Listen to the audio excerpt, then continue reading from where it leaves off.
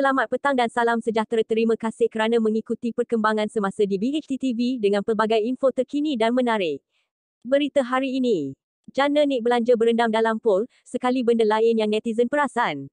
Pelakon, penyanyi dan juga pengacara berbakat, Jana Nik memuat naik gambar di media sosial baru-baru ini menarik perhatian ramai peminatnya. Menjengah ke Instagram Jana, selebriti ini memuat naik gambar di kolam renang di sebuah hotel terkemuka di Singapura sambil menulis caption ringkas. Minta tolong yang pandai. Titik. Edit out orang belakang tu, tulisnya. Tidak lama kemudian, Jana memuat naik hantaran di Instagram story dengan memaparkan hasil suntingan peminatnya yang berjaya menyunting latar belakang gambarnya.